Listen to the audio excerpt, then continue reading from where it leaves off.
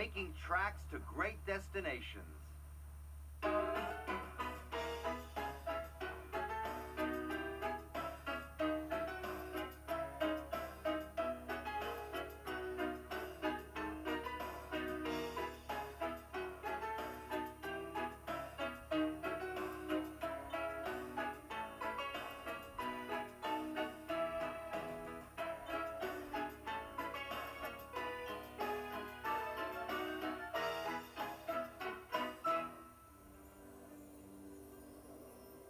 The island of Sodor is surrounded by beautiful blue sea. It has fields of green and sandy yellow beaches.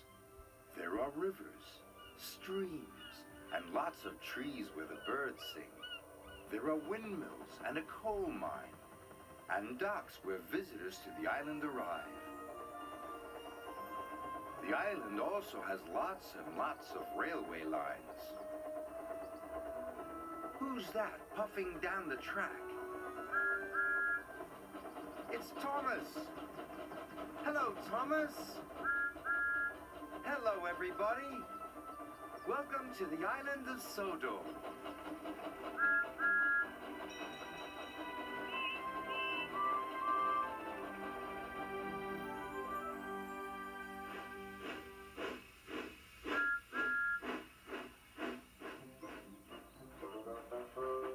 A glorious summer day on the island of Sodor.